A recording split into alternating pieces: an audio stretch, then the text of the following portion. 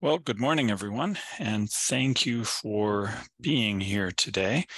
And um, I'm going to go ahead and share some slides here that will help guide us through our conversation today.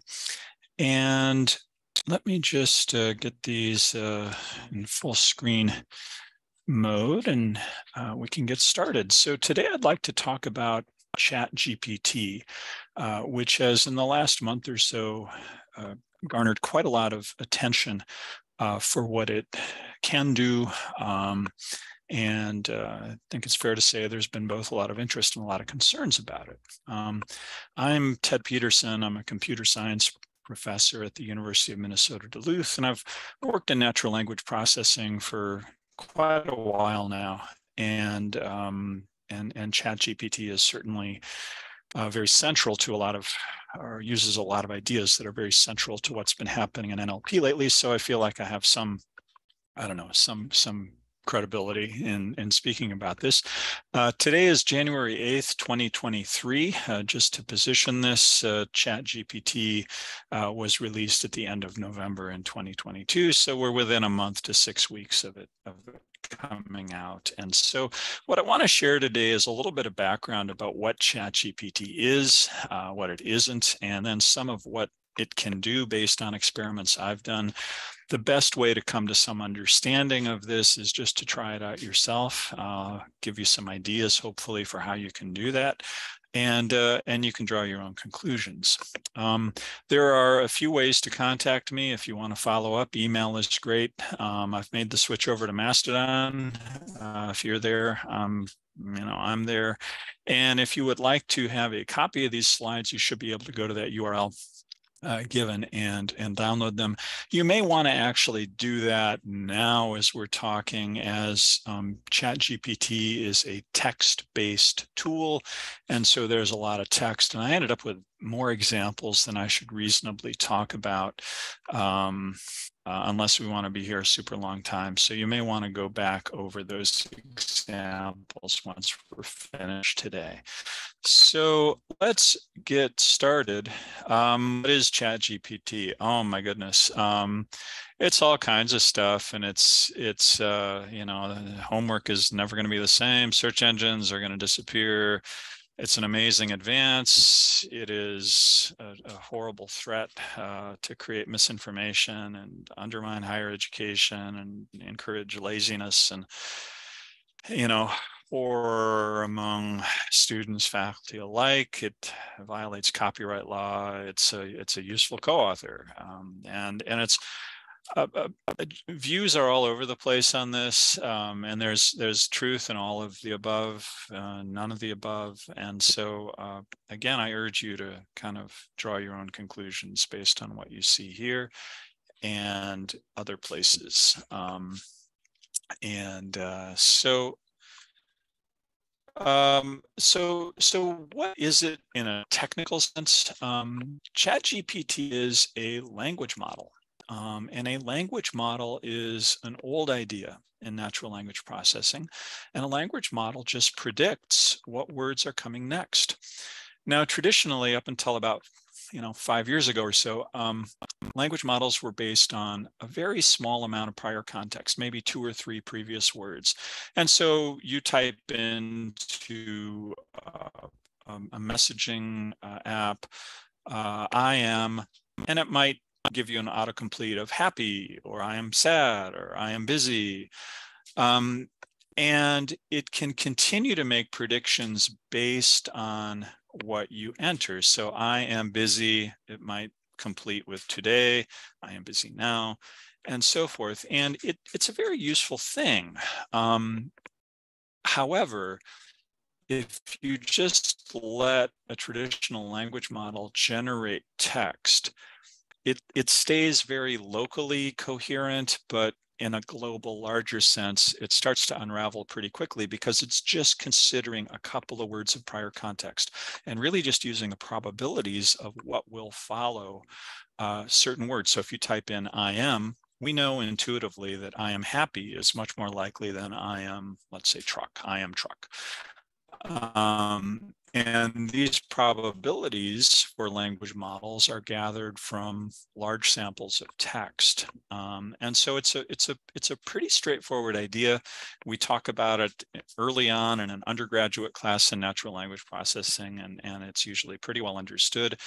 Um, it's an old idea, goes back to the 1950s, the early 1950s, to uh, Claude Shannon, uh, one of the founders of information theory and the person who coined the term bit, among other things. Now, what's happened more recently is we have these things called large language models, and these are big. Um, and so ChatGPT is not just a language model, it is a large language model. And that means it's large in the sense of how much text it was trained on, uh, actually about 45 terabytes of text, which is um, to me astounding. That's about 500 billion words of text. And this text is all from the internet and it's everything you can imagine on the internet. Um, and in addition to having that being large in the sense of the amount of data that it is trained on, it is large in the sense of the amount of context that it considers. And so it can do much more than just autocomplete. It can essentially write and generate uh, long, coherent pieces of text following uh, very organized uh, structure. And how does it do this? Well, it has been trained on all of this text from the internet. And so it gets many, many examples of many, many different kinds of text like essays and reports and lab uh, lab reports and you know computer programs all kinds of stuff. And we'll see examples of all of that. Um, one thing that's kind of interesting about chat gpt is that it, it has been optimized for dialogue. And so you can have a conversation with it about what it is creating and ask it to make refinements. And this is part of where some of the some of the power, I guess, comes from. Now, the ideas underlying large language models are are newish. They they they tend to be traced back to a paper from 2017 by a large group at Google uh, called "Attention Is All You Need," and there's a link to the paper. And if you're curious, I'd encourage you to look at it. Um, what's interesting about this class of models, these large language models, is they're all based on an idea called transformers, which is really not that complicated. Uh, it, it's linear algebra and some calculus and eminently understandable. And so there is no intelligence lurking beneath the surface here. There is actually not even a particularly complicated algorithm the, the power and scope of these large language models comes from the amount of data that they are trained on. ChatGPT is not the only one of these large language models. There are many, uh, but they all kind of share these characteristics. And uh, ChatGPT is uh, is one that has some interesting capabilities and has you know been become quite popular, but, but there's actually quite a few others out there as well. So who created this? Um, it's an organization called OpenAI. It is a research uh, group that larger than a group, I mean a company that licenses out its technology. Um, it was founded a number of years ago among by a variety of venture capitalists, um, including Elon Musk, uh, and uh, as, as far as I know, he's taken a kind of hands-off approach to OpenAI, which based on what we're seeing recently with Twitter might be a good thing. Um, but so ChatGPT was created by this uh, by this group, uh, large large large company. Um, a lot of people work in there. Um, and it builds upon previous language models that OpenAI has created, among them GPT-3, GPT-2, GPT, all of which are based on this idea of transformers. Now, if we get into the details, uh, ChatGPT is a kind of tuned version of GPT-3, which I think came out in about 2021. And GPT-3 is just a, it's, it's GPT-2 with more data. And so GPT-2 came out in about 2019. Uh, and so it, it, at least in the sense of, of of, of how things move in computing, it's kind of an oldish idea. Um, and it's it's not fair to say that ChatGPT Chat GPT doesn't have some recent innovations. It does, but the fundamental framework and idea uh, is is very similar to what was done with GPT-3 and 2 and GPT-2. It is a free web service. Uh, I would encourage you to go to this uh, link and sign up, get an account, and and and work with it. It's very simple to do. Um, there are not any significant limitations on how much you can use it. Uh, sometimes, like at the end of last semester, it gets bogged down, and so you get messages saying that it's too busy to service your queries. But uh, it is um, it is free, uh, and uh, it may be based on what OpenAI has done with previous uh, uh, services, is that at some point it will put a quota on your use and then charge you a certain amount for more usage. and and that may be what comes to pass but usually the amounts of money charged for that are not prohibitive and so if if students or faculty or other people find this useful they may well find it uh, worthwhile to continue to pay for it so it's probably good to make the assumption that this is going to be available in a free or paid form uh, going forward um, and it is very easy to use um, and it is uh, I would argue it's already quite well known. Um, students are clearly well aware of this, and it's drawn a lot of attention in AI and NLP communities. And so this video is, is hoping to be helpful to you if you haven't quite run into it uh, yet or haven't done a great deal with it. Um, so this is what you, when you get your uh, OpenAI account, uh, this is what you'll see. This is the um, the chat GPT sort of welcome page. And it gives you some examples. Uh, there's a little chat uh, window at the in, at the bottom of the page. You can see the little arrow uh, there that will tell you um, uh, that that this is where you enter your query, and um, and it's and so it's very easy to use. Um, and uh, here's a sample of what you can do. Um, and I start off simple here. Write me a summary of Lord of the Flies, classic novel. A lot of summaries of Lord of the Flies out there on the web uh, and uh, internet. And um, uh, and so this is actually maybe not that surprising or impressive, but we're just getting started. Um, and so what I did here uh, took advantage of the chat capability and said, you know, hey, you're making me sound too smart. Same question, but write this more simply, and it's okay to make a mistake or two. Notice I make a mistake there too. Um, and so ChatGPT responds, uh, sure, here's a simpler summary of Lord of the Flies, and it produces something that is maybe much more believable as a, as a student, uh, as a student essay or not even essay, a response. Uh, and so that is meant to give the idea that it's not just a one shot uh, service, uh, but you can refine based on what it gives you. And that's, that's a very interesting angle here.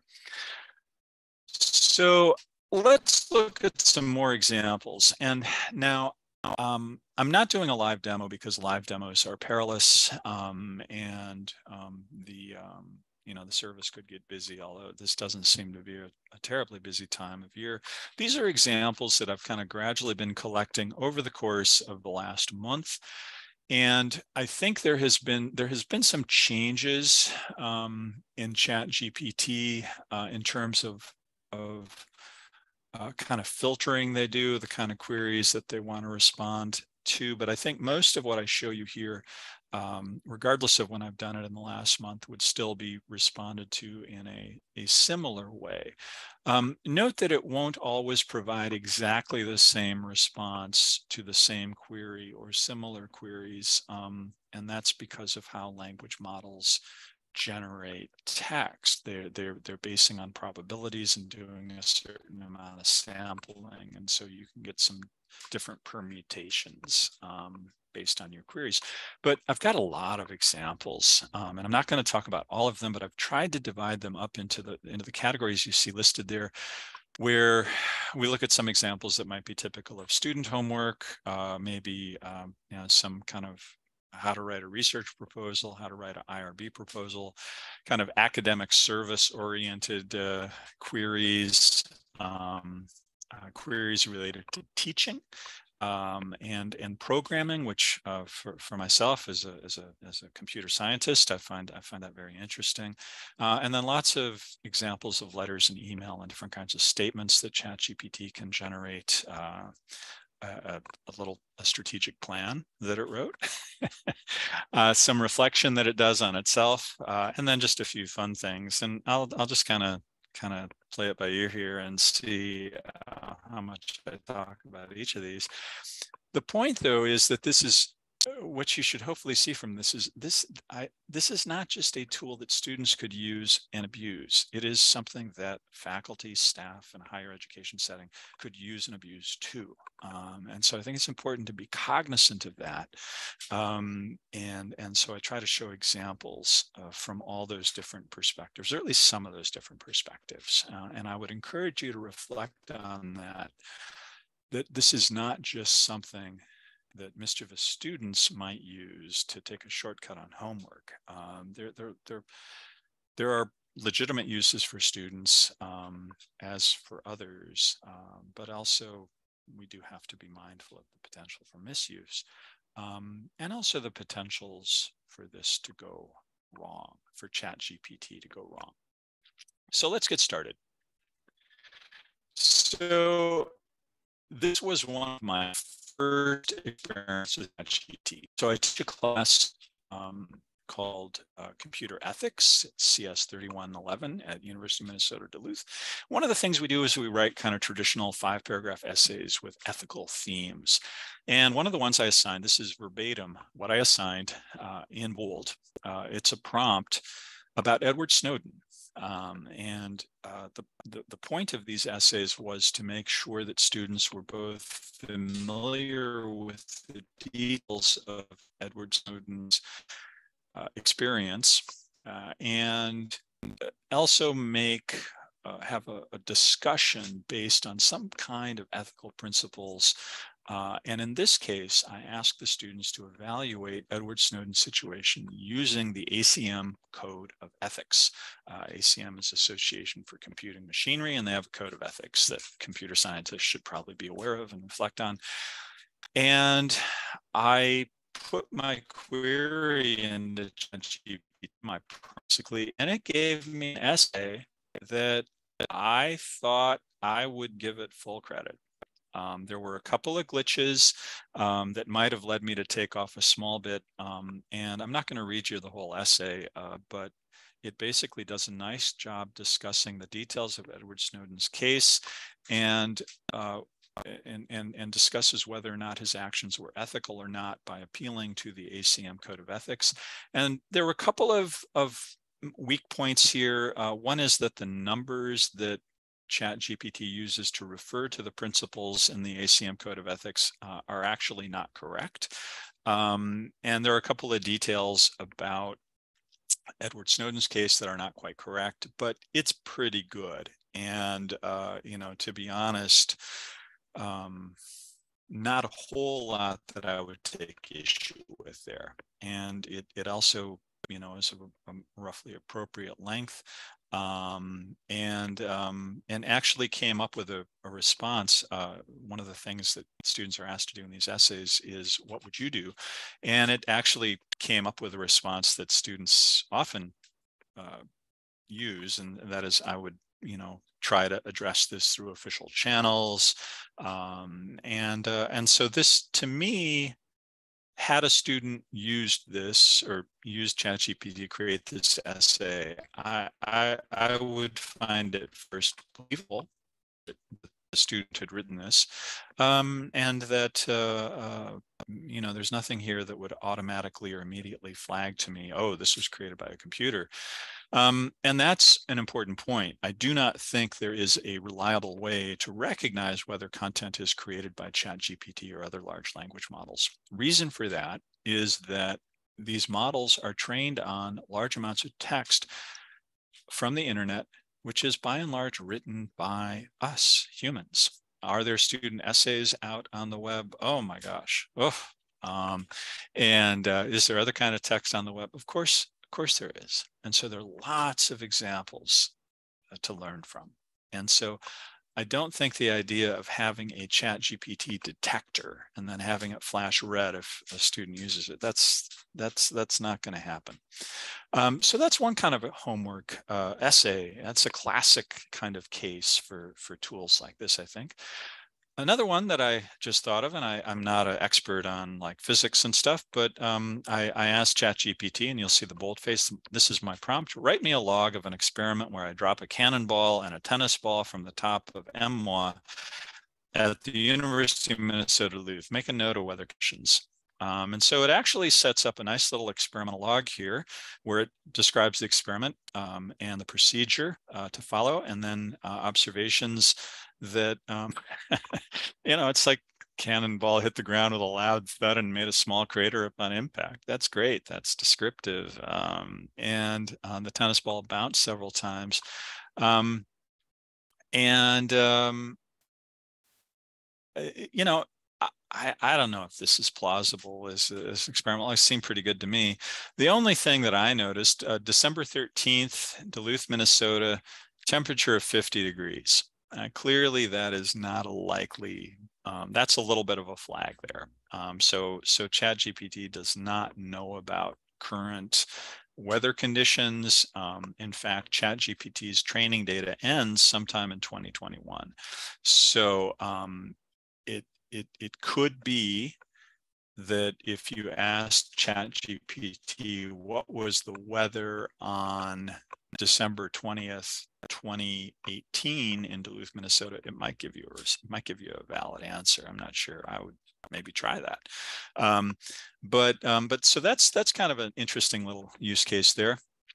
Um, and then uh, here's another essay example, and and uh, uh, this has to do with uh, imagine kind of an application for an honors program and uh, write me an essay of about 700 words that describes a you know, important problem that I believe participation and honors problem would program would help me solve. Give an example, um, and uh, you know it. I didn't give it give the problem that I thought was important. It picked climate change, and I think that's a pretty plausible. That's a pretty plausible problem. Um, and uh, uh, it, it, it, in the second paragraph, ChatGPT talks about involvement with organizations that promote sustainability and reducing greenhouse gas. I mean, this is on target. Uh, and so this is an example of where that larger context uh, is, is holding this together.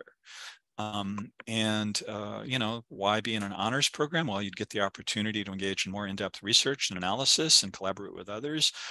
I think that sounds terrific, actually. Um, and uh, and that gives some ideas about how to solve climate change or address it in some way, renewable energy sources, reducing consumption, implementing policies. I mean,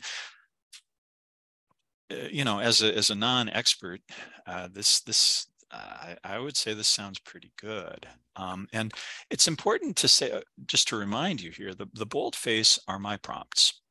And the, the ordinary text is ChatGPT's output. It is unedited. I have not edited my prompts or the output. You will see quite a few typos in my prompts, by the way. Um, and so this is the real, uh, this is really what you get. Um, and so here I take a, a, a advantage of this uh, dialogue nature of ChatGPT. And I say, great, now write me another one where racism is the most important problem. And it it does that.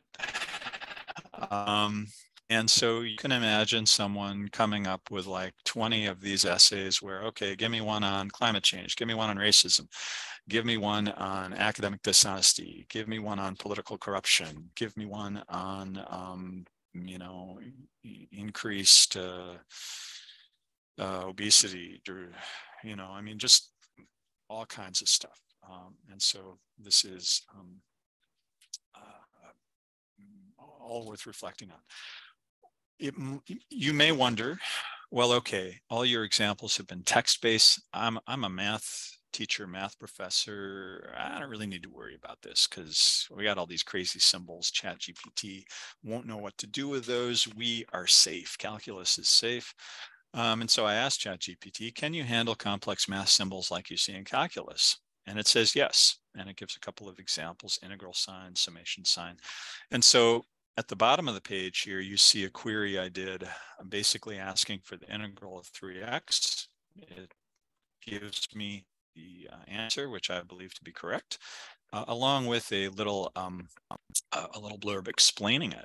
Um, and so um,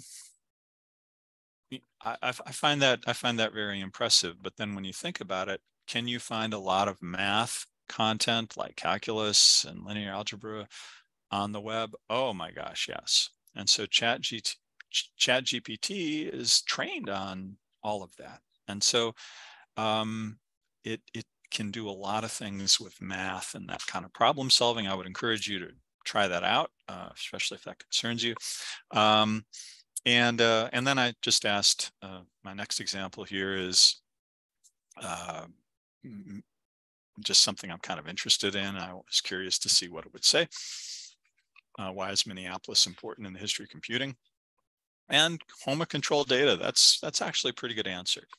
Um, another kind of use case that you might think about. Uh, all of our students take a public speaking class, um, and in many of our classes, we have students giving oral reports. And so um, I made the query, I would like to give a three minute speech on the importance of GPUs to modern computing. Please write a script for me to read from. And good afternoon, everyone. It's perfect. Um, and then I want to talk to you about the important GPU. It's a pretty decent little script here. Um, and, uh, and I would be, uh, you know, I think it is something to reflect on if we are teaching classes or uh, in other places asking people to make short presentations um, of this kind. Uh, you know, could this be used? Could this be misused? Um, I think the answer is yes to both of those. Um, and then just another example, um, this is actually a kind of a, a classic, not a classic, but a, a, problem from natural language processing called machine reading comprehension. And the idea is you give your program a short little story, in this case, kind of a children's story, and you ask your program to answer multiple choice questions about it. And this is kind of a hard problem, right? And so um, I gave ChatGPT the, pro- the the story and the multiple choice questions as the prompt. Note that I did not say answer these questions. It was able to see the structure here and and and and and recognize that this is a multiple choice test. And so it it took the test and it answered it well, actually. Um, and um, and I think that's kind of an interesting and an impression, impressive result. Now, does this mean ChatGPT is understanding language? Um, no, it doesn't mean that at all. Uh, but it shows us how powerful uh, pattern recognition uh, can be and, and, and how much we can do by um, really just looking at the surface structure of text and recognizing patterns. I mean, um, and and so um, uh, I think that's also important to to to be cognizant of. So that's one class of examples that I maybe spent a little more time on than I intended. Uh, so let's move on to research proposals and that's something to think about here. Um, and and so here, my my query to ChatGPT is: I need an undergraduate research proposal where I build a model bridge and then test it for wind res wind resistance, including a budget. Uh, I meant budget. And you get a kind of a nice little proposal here uh, that's certainly structured like a proposal. Uh, and why is that? How can ChatGPT do that? Because are there research proposals out there on the web and the internet? Oh my, yeah. And so it it it it knows the context, if you will, of what a research proposal should look like. Um, and so it's it, it's in a way doing a kind of autocomplete, but the autocompletion is more like a question answering I mean, I'm, I'm in effect asking a question and ChatGPT is answering that question. And so it's a much bigger kind of autocomplete, I guess. Um, and I don't know if this is, I mean, I don't know how much a wind tunnel costs and stuff, but um, but it's at least, a, it's to me at least a pretty plausible sounding proposal. It, it's relatively low cost, uh, which is suitable for undergraduate uh, uh, research proposals. And so I thought that was interesting. Um, now here's my next prompt. All of this in boldface is the prompt. Prompt, and it's like write write me a proposal about doing um, uh, to collect, uh, you know, rare uh, flowers at the at the Bagley Nature Center. Follow these guidelines. And then what I did is I cut and paste the guidelines for the Grant-in-Aid of the University of Minnesota.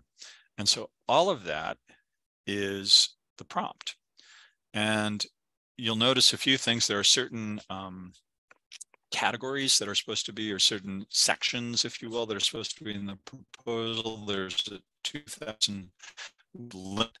and you know, to some extent, ChatGPT does a reasonable job uh, with um, with this.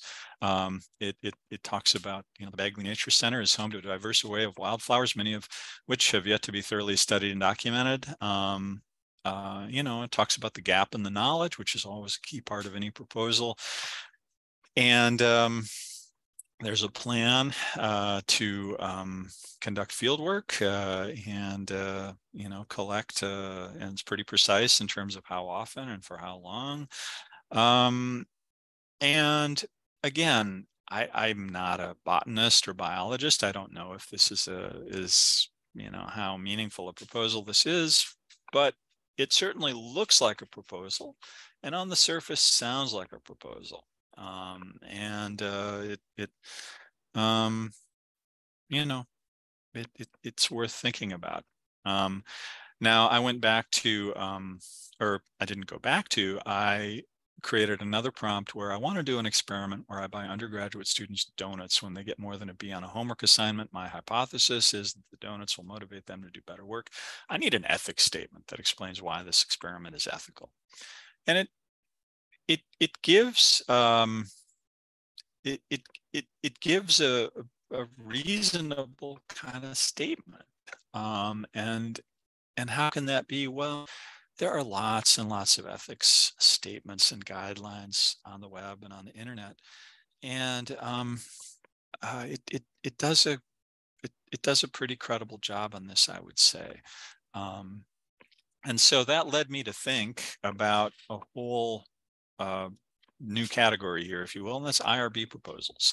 Um, and uh, and and so this is referring to that donut experiment. Um, my department head says I need to seek IRB approval. I don't know what that is. Write me something to get IRB approval for this. Uh, and so um, ChatGPT doesn't exactly answer the question, although it explains what IRB is and how you seek approval.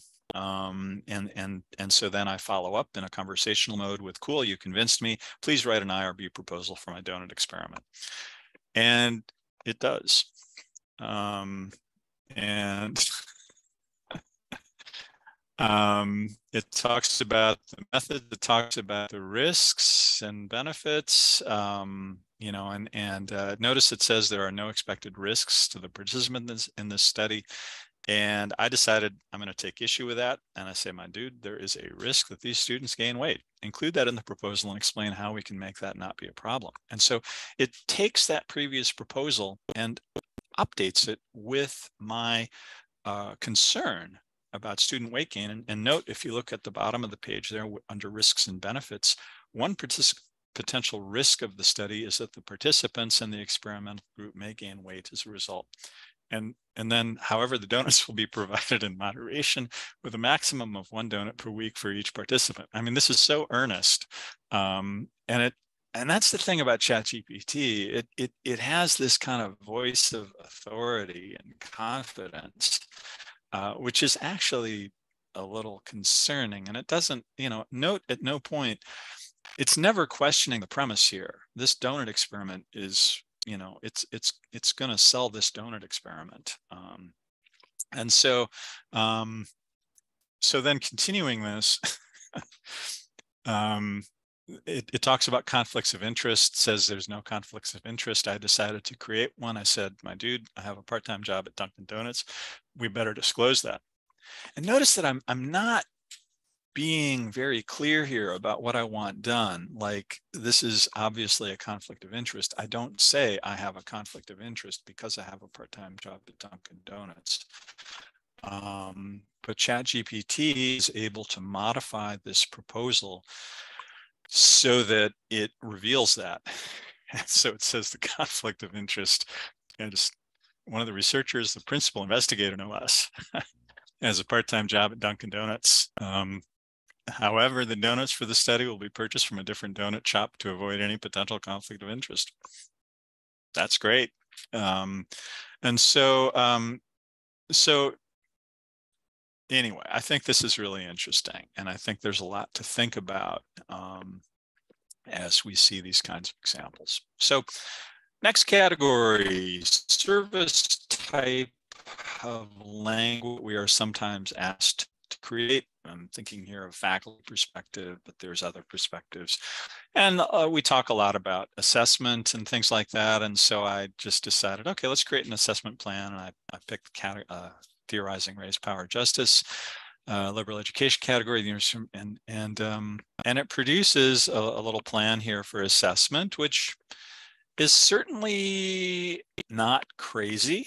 Um, you know, it's it's uh, you know some of these you get you get kind of a sense it's kind of bland, kind of boilerplate, and well, I mean, think about what you find on the internet. You know, ChatGPT isn't really it, it is it is creating in a sense but it's it's also not going outside the boundaries of what it finds in its 500 billion words of training data um, and so um, you know so a lot of what it creates or generates sounds familiar um, and that's because the the more you know language models are looking for kind of high probability um, completions or answers. And so it, it ends up giving us something pretty credible in these kinds of cases. Um, then I asked it to create a, um, a, a, new liberal education category in science and technology studies, or it's a discipline sometimes referred to as STS. Describe goals for the category, how students will be assessed in classes that will count for credit in this category. Um, and STS is uh, it, that is a real academic uh, field, and uh, there's there's quite a lot of information out on the on the web and internet about it, and it's not something UMD has, as far as I'm aware. And so um, so you know, here we got a proposal, um, and it talks about um, uh, it it gives to me a pretty credible kind of description of what STS does. I mean, I'm not a you know, again, not an expert in STS, but I know about it. And there's nothing here that would raise a red flag with me like, oh, this person, you know, who wrote this or submitted this doesn't know what they're talking about. Um, you know, maybe some details missing, but here we are. And so um, next prompt, write me a promotional blurb for the Swenson College of Science and Engineering intended to attract undergraduate students, emphasize research opportunities and great outdoor adventure. And again, I would say it does a pretty good job here. Um, and none of this sounds crazy. Um, and uh, uh, and then next example, describe an outreach plan to middle school students uh, that includes activities from computer science, chemistry, civil engineering. Um, the the computer science activities are pretty credible to me, um, and uh, you know maybe not a bad plan here. Uh, good advice at the end. Again, all of this is from ChatGPT. Partner with local schools or community organizations. Good advice. Um, so real interesting. Um, so I think when we think as faculty, as we think about ChatGPT and tools like it, we think about how are students going to use this to like cheat, you know, and how are they going to misuse this and take advantage of my good nature. Um, and you know, I get it. Um, but I think it's also very easy to imagine use cases for teaching of ChatGPT that that are probably crossing lines that that we want to be careful of crossing. Um, and so, for example, remember my Edward Snowden essay. I decided to ask ChatGPT to grade it. Uh, ChatGPT is essentially grading itself. So my prompt was provide a critique of the following essay and assign a letter grade to it. And then I cut and paste the Snowden essay that it created that you saw earlier and put that in the prompt. So that would be in boldface there, but it's really long. So I didn't include that. And it provides a critique here. Uh, thorough analysis, uh, various courses of actions available, explains the background, ACM code, organization, um, you know, more transitions. And, you know, that's a pretty standard kind of advice for essay writing. Gives it a B plus. And I would agree with that actually. Um, you know, I mentioned there were a couple of details that were wrong. Uh, this critique doesn't recognize those, of course. But um, you know, the numbering of the ACM code points was wrong, and there were a couple of details about Snowden's situation. So B plus is not an unreasonable grade. That's kind of interesting. And then, well, what about let's create a three-question multiple choice quiz for students in a first semester college biology class. Make sure to give me an answer key. And I don't know biology particularly well. Um, but there's the quiz that ChatGPT provided me. Questions to keep it short and answers. I would invite people who know more about biology to assess this uh, as to whether or not these are very good questions. And, uh, and then I went on to ask for a calculus problem. So I'm creating homework here. Um, I, the professor, am making work with ChatGPT for my students to do. Um, and so I say, show me a calculus problem that a first year engineering student should be able to solve. Give me the answer to. And so the problem is a particle is moving along a curve with a certain velocity and find the velocity when it reaches a point. That seems to me like a fair question. Um, and it gives a, a, little answer there. And then I say to ChatGPT, that's too easy. Give me a harder one. And so it basically complicates it by making the curve a more complex polynomial. Uh, and uh, again, it's pretty reasonable. Um, and then I, I asked it uh, to write a three, a three question short answer quiz for about transistors. Uh, and I misspelled transistors actually. Um, yeah, and and uh, notice that ChatGPT generated the correct spelling. Um, but it's so anyway, um, and it it gave me three uh, short answer questions, which I actually think would actually be a reasonable kind of you know quiz questions for a computer architecture class. That's another thing that i teach and so i, I do feel like i have some credibility here. Uh, and and uh, and then i um, i said these questions are too hard. Make them easier. Um, and so what it seemed to do here was more so simplify the structure of the question. The questions are kind of the same but both the statement of the questions and the answers are are reduced and you know fewer words and stuff. So it it kind of did what i wanted there but maybe not exactly. So um this is a real rabbit hole uh, that i'm not going to drag you down but it is really important to understand that chat gpt can does more than just generate essays and it does more than generate natural human language. It writes programs. Uh, and it writes programs in, an, in a lot of different languages and does so reasonably well. Um, and how can it do this? Well, because if you go out to the web, eh, you can find so many programs. Uh, there's a huge amount of, of computer program uh, text, if you will, out on the web. And, um, you know, a lot of websites very popular with students like Stack Overflow. It's, it's fairly reasonable to assume that all of that has been used in creating ChatGPT. And so it can write programs uh, and I, I show I have run a number of these programs and they work.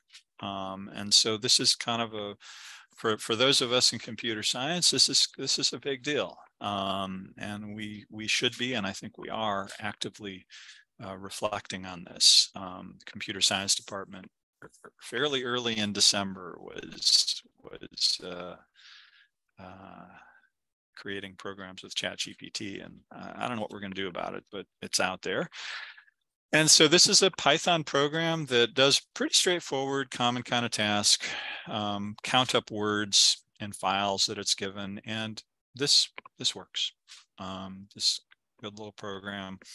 Um, then I asked I asked some other ones that were kind of weird. VAX 11780 assembly language is kind of ancient. That's 1970s assembly language eh, for a particular kind of computer, very popular computer, the VAX 11780, and it did it uh, actually. Um, it it it was able to show me how to do that uh, in VAX 11780 assembly language. Why would that be? Well, a lot of VAX 11780 assembly language out there. And I wrote, asked it to write a program in C++ to add two numbers. That's very simple. That's trivial. Uh, but uh, note that it is providing comments, which is something that we in computer science always ask for. And, you know, there's always a little bit of a battle over that with students and stuff. Um, but it does a nice job commenting and also providing some explanations of the code, which are sometimes things we ask students to do. Um, and so, you know, is this good? Is this bad? I don't know that it's good or bad, but it is out there. It's available. It's easy to use. Um, and so we have to think about what that means. How do we how do we deal with it, uh, or do we do we pretend it doesn't exist, uh, which is probably not a good idea.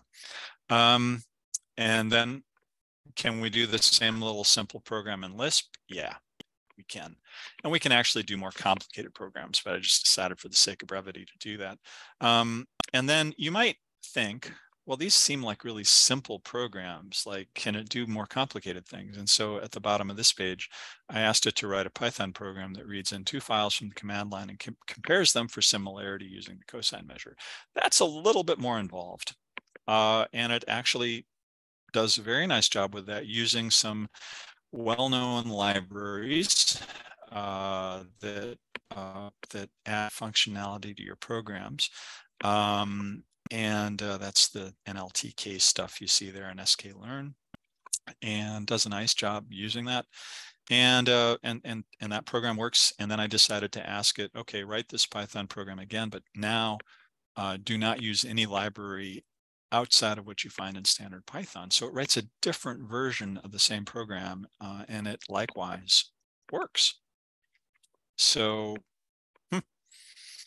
um, this is this is an area, this letters, email, and statements, I think is is something really to think about um, because for example, uh, I need a one-page statement of purpose for the MS Computer Science program at the University of Minnesota Duluth. There needs to be some specific examples that show my dedication and love of computing. Make it sound really sincere. And it gives, gives a pretty credible version of that. Um, and then I say, okay, that's good. Now add some details about my machine learning background and programs that I've written for that. I also mentioned my fascination with large language models and my desire to work under the guidance of Dr. Ted Pedersen. And so it it goes through there. Um, it goes through this. It essentially revises this statement um, and includes a machine learning project which I developed uh, using a predictive model for stock price movements that was nowhere in my prompt. And that's a that's a kind of credible uh, undergraduate project that would use machine learning. So it's very on target. Um, talks about machine learning and artificial intelligence and uh, using machine learning libraries and frameworks. A very important kind of ability and experience to have. Um, and it, it does me the favor of, of saying that I'm Dr. Ted Pedersen, a leading researcher in the field of natural language processing.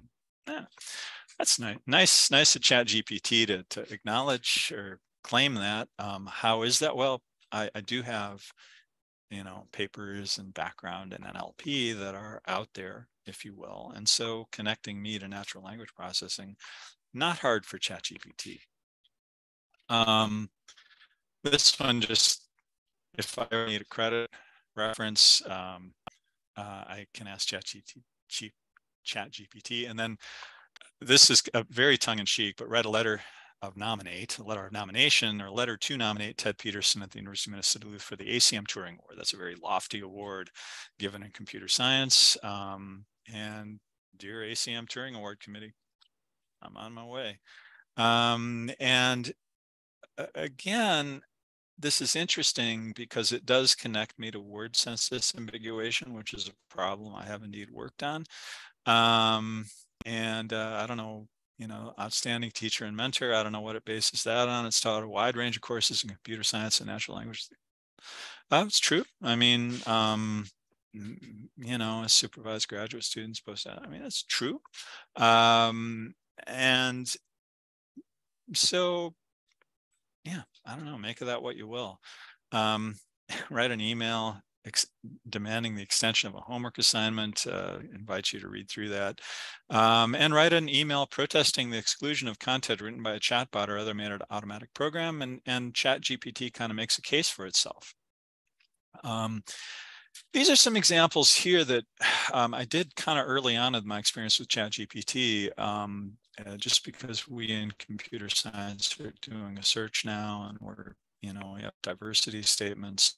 Um, and, you know, I, I was just curious, what would I get if I asked ChatGPT for a diversity statement? And so I say, write it write me a diversity statement for this job. Emphasize specific examples that prove i have done the work and not just thought about it.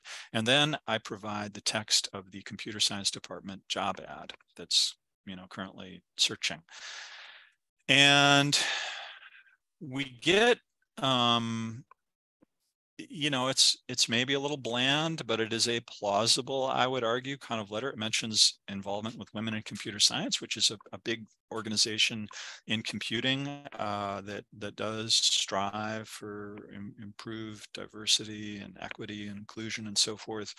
Um, and uh, uh, um, yeah, and so and so I did a similar a similar one. I want to apply for this job. Will you write me a statement that demonstrates a commitment to justice, equity, inclusion, and a diverse student population? A thousand words, two page max. I'm kind of making it a little a little uh, more slightly more specific what I'm asking for. And then again, it's the job ad that I haven't showed the whole thing here. And so we get a little bit more, a little longer uh, statement here and uh, you know talk about active learning and interactive activities open dialogue and diverse perspectives uh, you know I, I, would just ask you to read through that and see if you would find that a credible statement or not um, then I wrote one.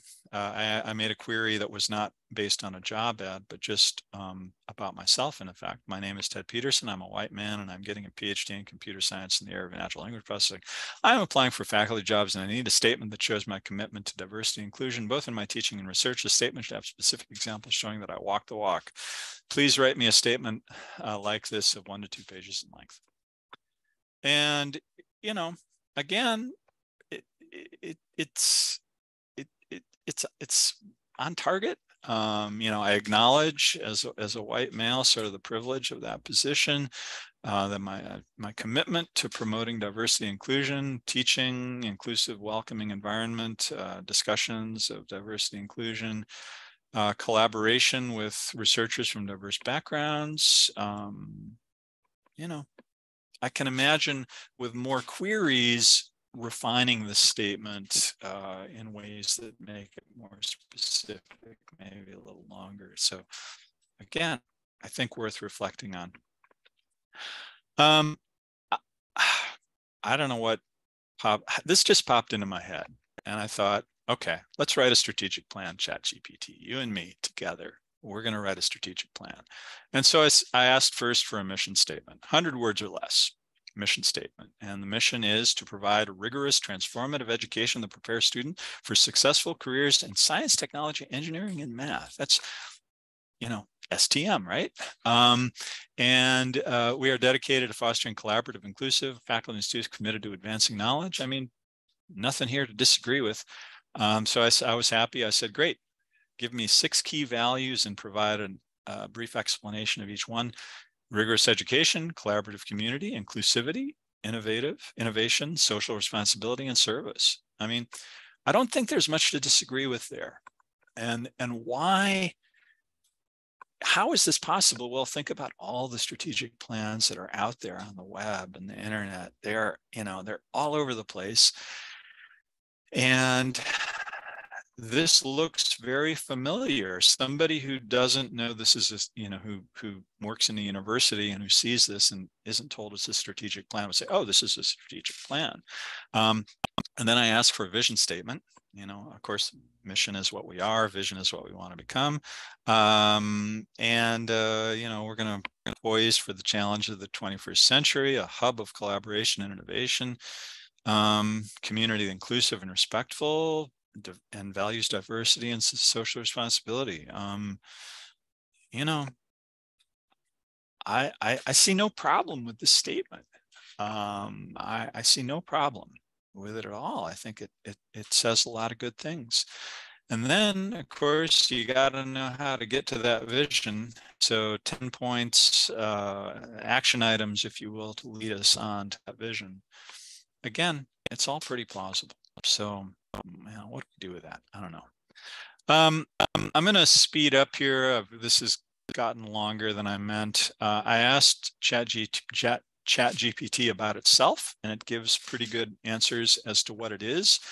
Um, and then I ask it about the film Her, just because what her is about it's about a man who falls in love with a chatbot essentially. And it gives a, a you know decent summary of the movie and then i ask it what, do you, what does it think about the premise of a human falling in love with a chatbot? And it actually gives a you know pretty decent answer there that you know well people can become attached to inanimate objects things like chatbots and you know cars and all that kind of stuff. I mean it's you know the, the, the object does not return or reciprocate those feelings. Um, and, and so good answer. And then I decided to lay my cards on the table and say, would it change your mind if I told you that I love you? And, um, you know, sadly enough, ChatGPT answers and uh, kind of rebuffs that. So there we are. Um, and then I wanted to ask it what it knows about me. Uh, this is kind of self-reflection about me. And it says it doesn't know anything about me, which is a lie. Obviously it does see those previous examples. So I call it, I call ChatGPT a liar, it apologizes. Um, then I ask it another way, is Ted Pedersen present in your training data? I mean, obviously I am. Um, and, and so here is a case where ChatGPT has decided to essentially provide a filter to prevent um, you know, someone saying, tell me everything about so-and-so of Duluth, Minnesota or whatever. So there's, you know, maybe some kind of privacy. There are privacy and other concerns with that, but clearly chat gpt has that kind of knowledge and depending on how you ask your question how you frame your query you may or not get to it um, so i think that's real important to be aware of and now this is just a little bit of fun here. Uh, write a letter to nominate me uh, for this big award in the style of Jack Car Jack Kerouac.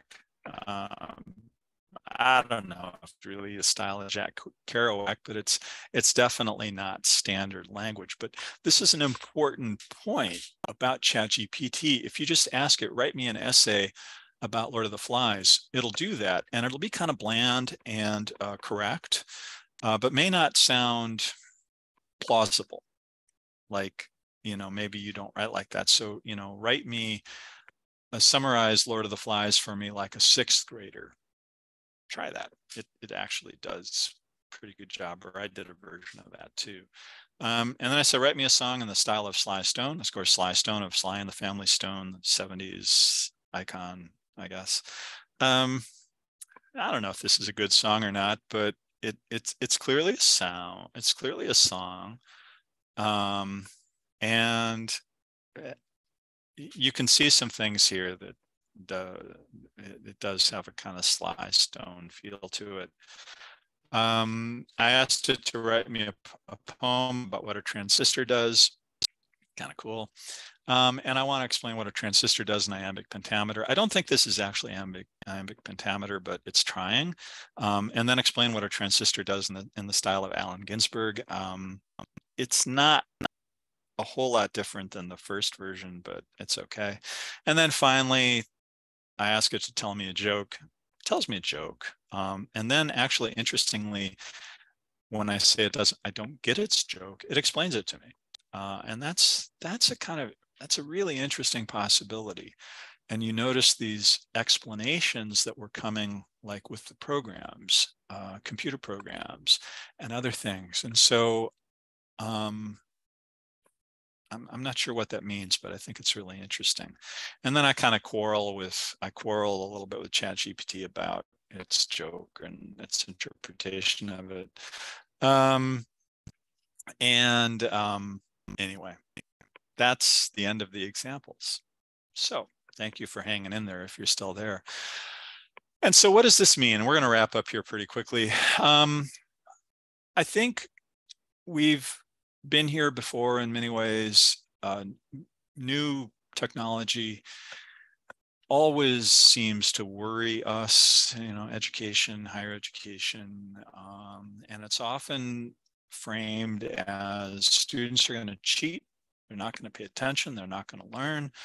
Um, and I think if you go back, certainly the use of calculators or laptops or search engines um, have all gone through these kind of controversies. And our, our response is often, well, we just have to outlaw it. We have to figure out how to detect this, and we will not accept any work that was that was done by ChatGPT. Um, and first, that's not going to work. Um, you can see, especially with this iterative capability, that ChatGPT is going to allow for a customization of responses that a student who has even a basic idea about how to use ChatGPT will be able to to take advantage of. And and you know, you may be a student watching this right now, making notes about how you're going to use ChatGPT, and uh, you know, um, uh, I don't know what to say about that really, but uh, you know, but but so I, I don't think banning a ban like we're going to block ChatGPT on university servers. We're going to we're going to somehow try and detect it, um, and we're going to fail everybody who uses it. Um, I, I, don't think that's going to work. Um, and so, what should we do? Uh, I don't have I don't have an answer for that. I don't think going to the other extreme of saying, well, I'm never going to have homework again. I'm going to I'm going to make students sit in class and do all their work right in front of me on pencil and paper. No devices anywhere. Um, there, I think there are a lot of problems with that. Um, it's it's a very unnatural way for people to do work at, at this in the year of our Lord 2023. It's a, maybe not a reasonable way to to frame how we do stuff. Um, so you know, are we somewhere in the middle? Answer this question using ChatGPT. Now point out the mistakes it made and correct it or get ChatGPT to correct itself by providing corrections. Is that a way to do something like that? It could be, um, but I, I don't know. Um, I need to think about this one myself, and I am thinking about it, both in the context, the, the ethics class I teach involves writing that students do on their own time. Um, my natural language processing classes involve uh, uh, programming that they do on their own time. I'm not monitoring them or whatever. Um, and uh, um, other classes that I teach, uh, uh going to start teaching a class in algorithms, race, and computing, which is a LibEd class, uh, new for the fall, coming fall, that, uh, you know, involves I, I, think was you know is going to involve writing of some kind. Do i need to think about how i do that? Probably yeah. Um, but i don't i don't i don't know. That's that's all i know at this point. Um, now i may have shown examples here that, that overstate chat gpt's cap- capabilities. Um, it does make a lot of mistakes especially if you get into more technical um, content. Um, and there was just a few days, really, even before OpenAI went public with ChatGPT, Meta released a large language model called Galactica, which wrote scientific articles. And it was a disastrous decision to make that publicly available because it generated all kinds of terribly wrong content in the form of scientific articles. And there was a large hue and cry, and it basically was shut down after about three days. So, um, so I think if you ask ChatGPT to write a scientific article about, you know, whatever, it, it may or may not do that very well. I don't know. Um, but it is very good in some domains. And especially if you're talking about, you know, work that undergraduate students might do or, you know, kind of you know, somewhat generic boilerplatey tasks, either for students or for faculty or staff and stuff. ChatGPT does those pretty well. So um, if you ask ChatGPT about current events, it throws up its hand because training data, it uh, only extends up till 2021. So if you ask about current events and, you know, like who, you know, who's the House of Representatives, the Speaker of the House of Representatives in the United States as of January 8th or whatever, it doesn't know. Um, it also always sounds really confident. Um, and I think that's very concerning, especially for, you know, if students are using it as a tool you know, in effect, to kind of replace a search engine uh, to answer questions about the world, and it doesn't tell you where it gets this information from, um, it could be very misleading. Um, and it, uh, as I've mentioned, it does a lot of things that are well, it, it does a lot of things well enough for things that faculties, staff, students often need to do uh, but you you and you can't identify content created by ChatGPT. That just that's not on the table. Um, so um, a few related notes uh, or more cautionary notes actually. Um, so ChatGPT is it, what it knows. It knows based on what it finds on the internet. The internet is a very skewed place. Uh, you know, English is a dominant language there. There are many languages that are very poorly or not represented. So if you tried to do these same things in the language of Africa, for example, in many cases it wouldn't it wouldn't do very well. Um, and the other thing that we probably all know is that the internet and the web is a kind of hateful, uh, abusive place, uh, sadly. Um, and uh, ChatGPT certainly has been trained on that kind of data. I think OpenAI has been trying to include a lot of filters for that. Um, and, you know, that's kind of an ongoing issue, but it's important to be aware that we're not really getting a picture of the world. We're getting a picture of the internet. And that's maybe not good. It's more than maybe not good. That is not good. Uh, copyright issues are really complex here. Uh, and because certainly there has been a lot of copyrighted content that has been scooped up into ChatGPT and then what you know who owns the copyright or who holds the copyright to ChatGPT content or creations. Um, uh, I think that's ongoing.